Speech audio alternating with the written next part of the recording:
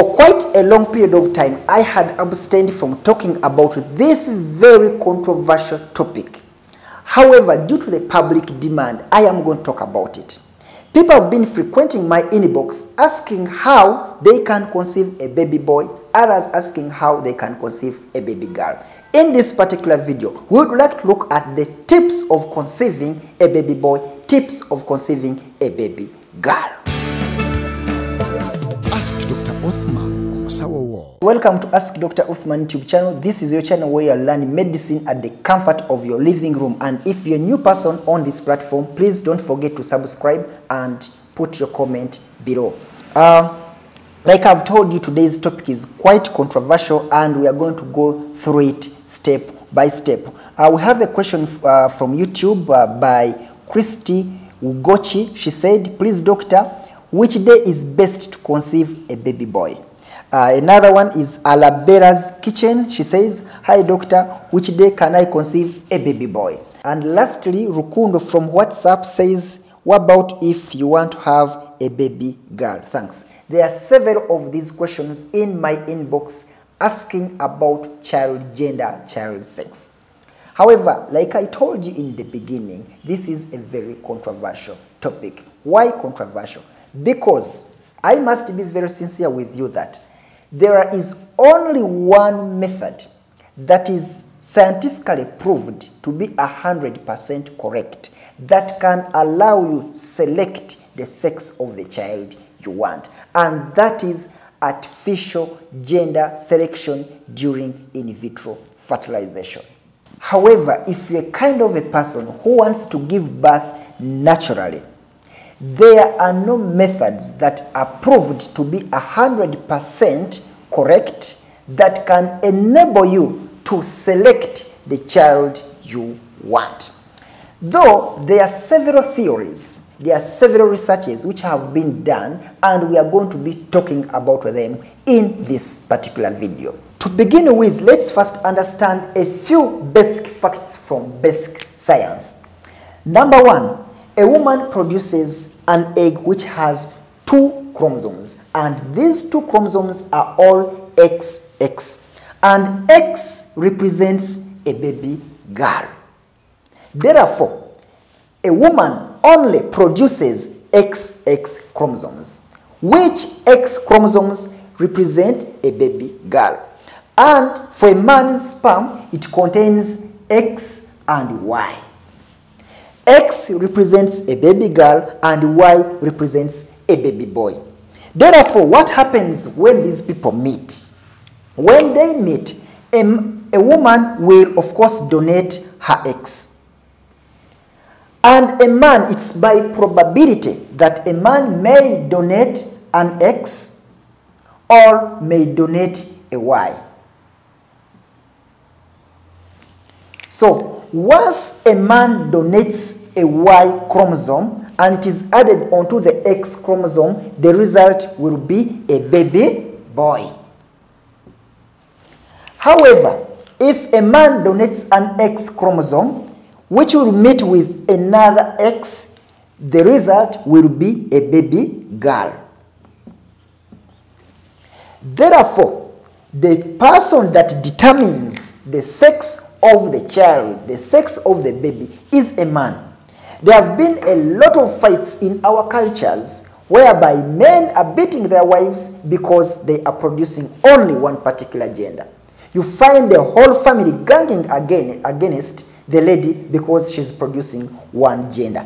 But you should understand that sex determination, the gender determination of your baby is done by a man. Therefore, giving birth to a baby boy or a baby girl is purely by chance. However, there are some researches which have been done by some individuals. There are theories which have been tried and have suggested that there are things you can do to enhance your chances of either giving birth to a baby girl and a baby boy. So the first method I would like to introduce to you is the ovulation method.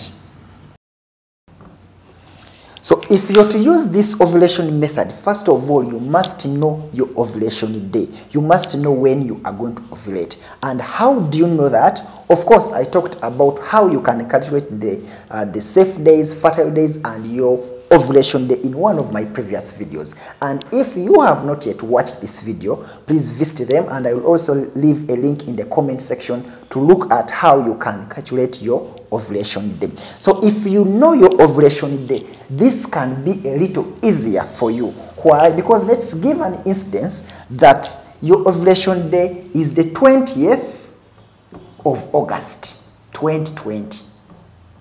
So if your ovulation day is the 20th of August 2020, we are going to use a few issues here. We are going to use a theory by uh, Dr. Landrum Shettles Brewer.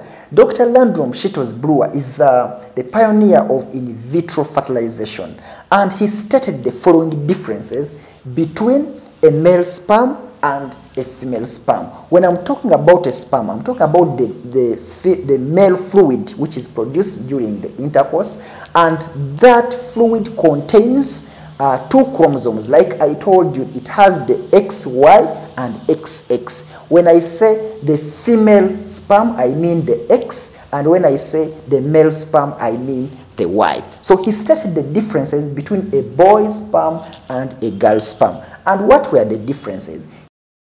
He said that the boy's sperm swims faster. It is faster than the female sperm. So this one is faster. But he also stated that the boy sperm is smaller in size. Is smaller. He further stated that the boy sperm survives for less days as compared to a girl sperm. Uh, so which means a boy sperm survives less and that is three days. It only survives on earth or, or in, in the woman's womb or in the woman's V for only three days, whereas the girl sperm can survive for up to five days. And therefore, we would like to use this to find out if you can really target the gender you need. So, if your ovulation day is on the 20th of August 2020, it means generally, generally, your, your sperm has five days to survive. And therefore, five days to survive are so on the 20th, 19th, 18th, 17th, and the 16th day. So these are the five days. These are the five days. Five, four, three, two, and one. So this is the ovulation day. So let us now look at this. If you if you met your partner on at five days before ovulation, what will happen? You meet your partner five days before ovulation. Your partner or uh, your partner will deposit, of course, sperms which contain the boy and the girl. That is five days before the ovulation. We deposit sperms that contain a boy and a girl. According to this theory, the boy's sperm by the third by the third day, one, two, three, on 18th, the boy's sperm will have died.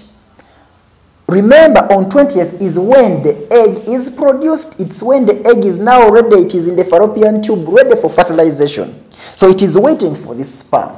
But by the third day, the boy's sperm is already dead.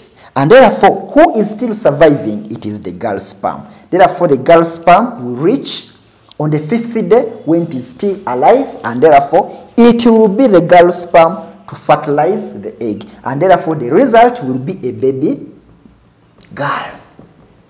Therefore, if you had intercourse with your partner five days before ovulation, the result is likely to be a baby girl. Same applies to four days prior to ovulation, it's again a baby girl. So if you had intercourse or if you met your partner three days prior to ovulation, it means both sperms will be available on the 20th day.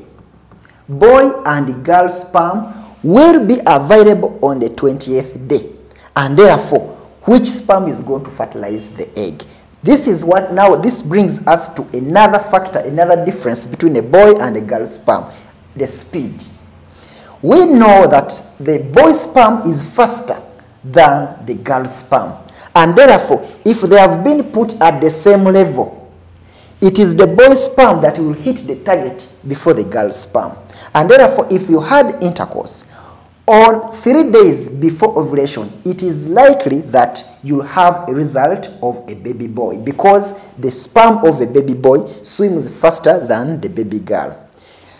And also, if you had intercourse two days before ovulation or on the ovulation day, actually, if you really want to target a baby boy, it is better to have to meet your partner on the ovulation day. Why? Because the boy's sperm will reach or will move faster than the girl sperm and therefore it will fertilize. Let me bring this into a, a, a, a simple issue. We have two sperms, the boy and the girl sperm. One is a faster runner and the other one is a slow runner, but it runs for long distance. So in conclusion about this particular method, if you want a baby boy, you should meet your partner three days or two days prior to ovulation or on the ovulation day. Three days, two days prior to ovulation or on the ovulation day itself. The chances of having a baby boy are high. And if you want to have a baby girl, meet your partner five days or four days prior to the ovulation and do not have intercourse again until after ovulation. So let's look at other methods. We are going to look at two other methods and these methods were again suggested by Dr. Landrum Shettles. I told you this is the pioneer of in vitro fertilization. He suggested two more uh, ways of conceiving a particular gender you need. However, these methods have been widely criticized by some scientists. However, he still has a lot of proponents for this method. Let's look at them. Number one is female orgasm. He stated that during uh, orgasm, female orgasm, there is production of alkaline solutions and these solutions are important for a male sperm survival. And therefore, he said that if you want a baby boy, make sure that your woman reaches orgasm. That is according to Dr. Landrum Shettles and his proponents. Another method he researched about is the sex position. He maintains that deep penetration will give a result of a baby boy. Why? He gives a reason that during deep penetration, the sperms are deposited nearer, closer, all at the cervix. And therefore, when they are deposited near or close to the cervix, there is a short distance from the cervix onto the fallopian tubes where fertilization is going to occur. This gives an advantage to the male sperm, to the boy's sperm, because it swims faster though it goes for shorter distance. And therefore, if they are deposited near the fertilization site, it means the boy's sperm will have an advantage. However, the last two methods I have discussed, and that is the orgasm and sex position, are not 100%. Actually, I would say their effectivity and accuracy levels are not known. But you can try any of the methods or all of them. Probably you can be one of the people that will benefit from the method. Thank you very much for watching Ask Dr. Uthman YouTube channel and if it is your first time to watch this video, please subscribe, be a member so that you can be notified every time we put out any educative and medical video. Thank you very much. I sign out.